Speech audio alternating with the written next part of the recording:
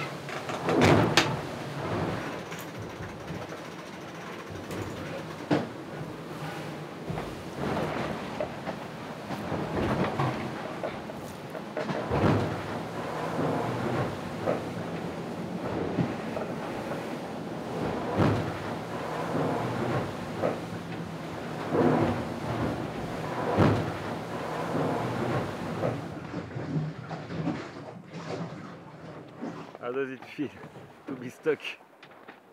Very frustrating. We were so close to the finish. And uh, now it seems like we're going to have to wait for the new wind. And probably the others are going to catch up some of our hard earned miles.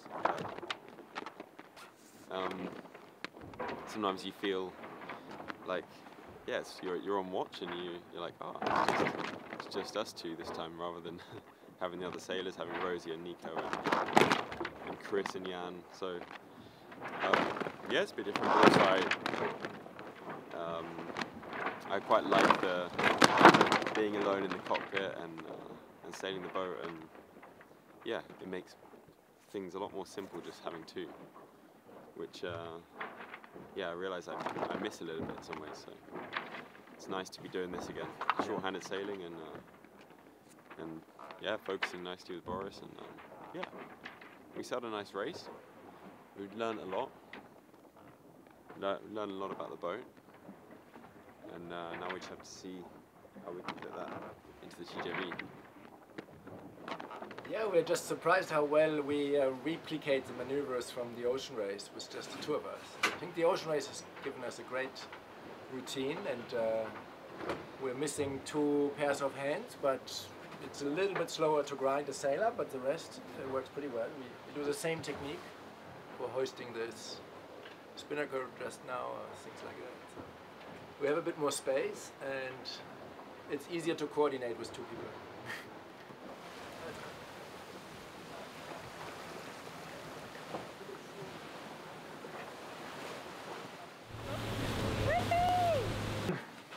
Good race. Look here. Good one, yeah.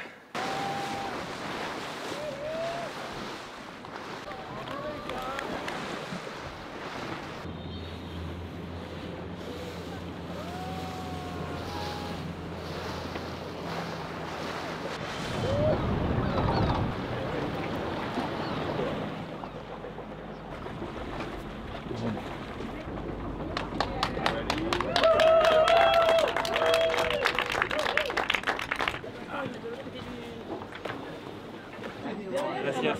Muchas gracias. ¿Saben? Cheers. Cheers. Là. Cheers. We got it. We got it right this time.